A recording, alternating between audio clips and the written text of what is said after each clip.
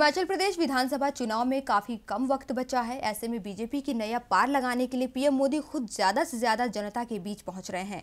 दो दिनों के हिमाचल दौरे पर पहुँचे प्रधानमंत्री नरेंद्र मोदी ने आज कांगड़ा में जनसभा को संबोधित किया, जहाँ उन्होंने कांग्रेस पर हमला बोलते हुए कहा कि हिमाचल में कांग्रेस कहीं नहीं दिख रही है। इस पार्टी ने तो पहले ही मैदान छोड़ रखा है। वहीं दिल्ली में भी पीएम ने वर्ल्ड बैंक की इज़ ऑफ़ बिज़नेस रिपोर्ट 2017 को लेकर विरोधियों पर निशाना साधा। जनसभा को संबोधित करते हुए पीएम मोदी ने कहा कि कांग्रेस पार्टी की सोच सड़ी हुई है और आने वाली पीढ़ियों में भी वही सोच आगे जाने वाली है। कांग्रेस को जब तक सजा नहीं दी जाए, वह तब तक सुधरने वाली नहीं है। पीएम मोदी ने कहा कि कांग्रेस पार्टी में दीमक लगी हुई है, जिसे जड़ों तक साफ़ किए बिना हिमाचल का विकास असंभव है। मोदी ने कहा कि हिमाचल को बीमारियों से दूर करने के लिए कांग्रेस रूपी दीमक को हिमाचल की जड़ों से निकालकर फेंकना होगा और इसके लिए जनता को आगे आना होगा।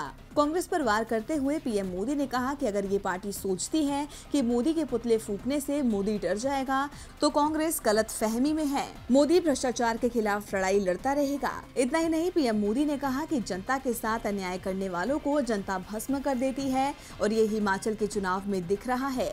कांग्रेस ने हिमाचल में हार मान ली है। वह हिमाचल जाने से पहले दिल्ली में भी पीएम मोदी ने अर्थव्यवस्था को लेकर सरकार को घेरने वालों को जवाब दिया था। इंडिया बिज़नेस रिफॉर्म कार्यक्रम में ईज ऑफ़ डूइंग बिज़नेस पर वर्ल्ड बैंक की रिपोर्ट का ज़िक्र करते हुए पीएम मोदी ने कहा था कि यह वक्त खुशी और जश्न मनाने का है, क्योंकि इससे लोगों के जीवन में सुगमता आएगी।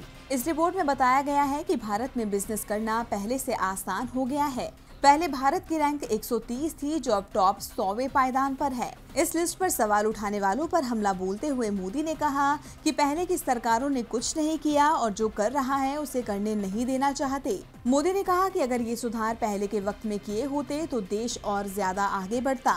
मोदी ने जीएसटी का ज़िक्र करते हुए कहा कि वर्ल्ड बैंक की रिपोर्ट में जीएसटी जैसे बदलाव को इस साल नहीं जोड़ा गया है। अगले साल जब इसे जोड़ा जाएगा तो रैंक और सुधरेगी। पीएम मोदी ने कहा कि भारत बहुत बड़ा देश है और ऐसे में जीएसटी में जो कमियाँ हैं, उनको वक्त वक्त पर देखा जाएगा और ठीक किया जाएगा। डिबी लाइफ की रिपोर्ट।